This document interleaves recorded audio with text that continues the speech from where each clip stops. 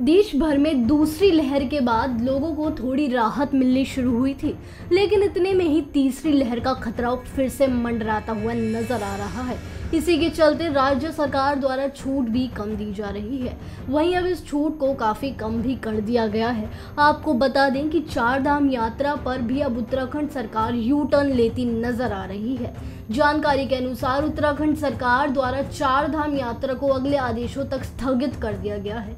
इससे पहले सोमवार को चार धाम यात्रा के लिए नई गाइडलाइंस जारी की गई थी, लेकिन अब फिर से कोर्ट के आदेशों के अनुसार चार धाम यात्रा को स्थगित किया गया है।